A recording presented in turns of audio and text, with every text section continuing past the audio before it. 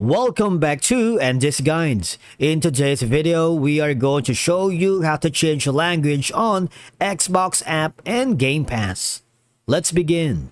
Now, if you haven't done so, click the Join Now option, and from here you can choose your plan. By following the on-screen instructions, you're good to go. Changing the language on the Xbox app and the Xbox Game Pass can be beneficial because for one, setting the language to one you are fluent in helps you better understand the game instructions. Of course, the menus, dialogues, and notifications, leading to a more enjoyable and efficient gaming experience.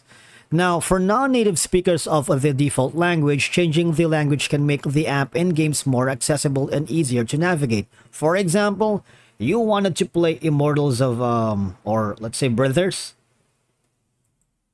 when you click on this specific game, when you and you hover to the more option, these are gonna be the. It should be um. Let's search for another game here, right? Maybe this one, Immortals. Click on it.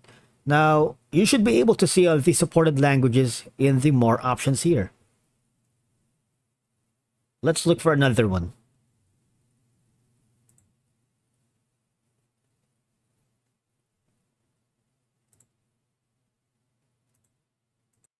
Now, I'm gonna select the Galactic here.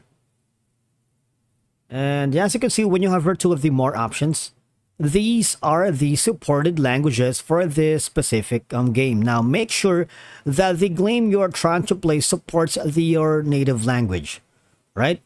Otherwise, there's no option here on your Xbox app that can convert the language automatically.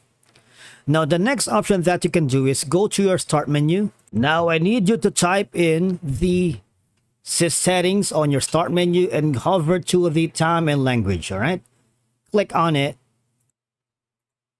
And I need you to click on the language.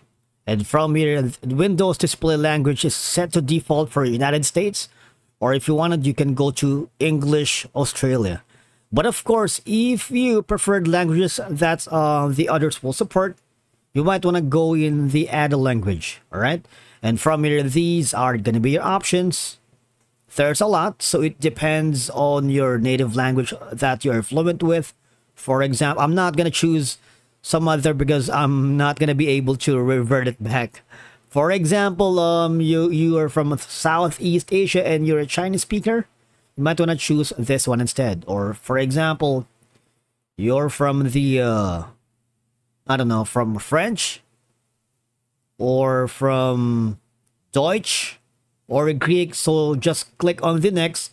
And from there, that would be able for you to change the language on Xbox app and Game Pass. Thank you so much for watching and we will see you again in the next video.